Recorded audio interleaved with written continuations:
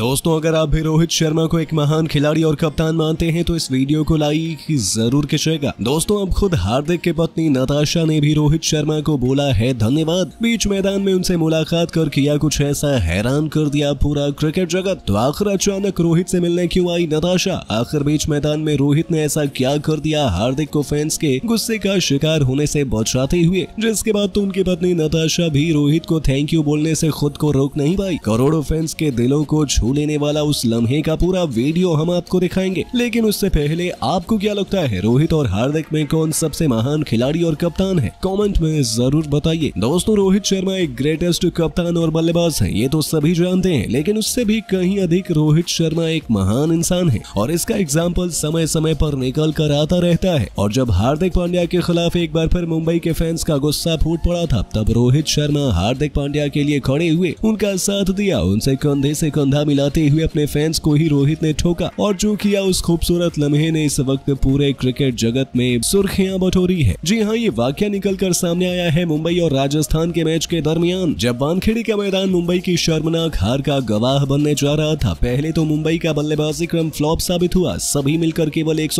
run बना पाए तो फिर जब गेंदबाजों का इस्तेमाल करने की बारी आई तब एक बार फिर हार्दिक पांड्या ने कई बड़ी बड़ी गलतियां की और मुंबई मैच हारने की कगार पर पहुंच चुका था बस फिर क्या था फैंस का गुस्सा सातवें आसमान पर था और हार्दिक पांड्या के खिलाफ ही जमकर नारेबाजी और होटिंग करनी फैंस ने शुरू कर दी बीच मैदान में ही हार्दिक को वो खूब गालियां दे रहे थे टॉस से लेकर मैच खत्म होने की बारी आ गई लेकिन हार्दिक के खिलाफ फैंस का गुस्सा थमा नहीं और ऐसे में रोहित ने खुद अपने ऊपर जिम्मेदारी उठाने का सोचा जी हाँ मैच के दौरान रोहित शर्मा को तमाम क्रिकेट फैंस को शांत कराते देखा गया क्योंकि फैंस लगातार हार्दिक पांड्या को बू कर रहे थे इसका मतलब साफ था कि मुंबई इंडियंस के तमाम फैंस इस बात से बिल्कुल बिल्कुल भी खुश नहीं है कि रोहित शर्मा की जगह हार्दिक पांड्या मुंबई इंडियंस की कप्तानी कर रहे हैं हालांकि रोहित शर्मा ने तमाम फैंस से ये कहा कि उन्हें हार्दिक पांड्या के लिए बोइंग नहीं करनी चाहिए और अपने नए कप्तान को जम कर चेयर करना चाहिए सोशल मीडिया पर रोहित शर्मा का ये वीडियो जमकर वायरल हो रहा है और लोग इसे काफी पसंद भी कर रहे हैं लेकिन मैच खत्म होने के बाद एक ऐसा वाक्य हुआ जिसने पूरे क्रिकेट जगत को हिला के रख दिया जी हाँ जब मैच के दरमियान रोहित शर्मा फैंस को हार्दिक पांड्या को परेशान करने के लिए मना कर रहे थे ये नजारा देख कर हार्दिक हार्दिक पांड्या की पत्नी नताशा मैच खत्म होने के बाद रोहित शर्मा से मिलने के लिए बीच मैदान में पहुंच गई नताशा जाते ही रोहित शर्मा से हाथ मिलाई और तुरंत उस लम्हे पर उन्होंने थैंक यू कहा उनका दिल रोहित शर्मा के लिए पसीज गया था वो रोहित की महानता पर थैंक यू बोलकर उनको धन्यवाद कहती नजर आई और ये नजारा देख तो स्टेडियम में बैठे दर्शक भी दंग रह गए थे हर कोई सोचने पर मजबूर हो गया की आखिर नताशा हार्दिक पांड्या से नहीं बल्कि रोहित शर्मा से क्यों मिलने मैदान में आई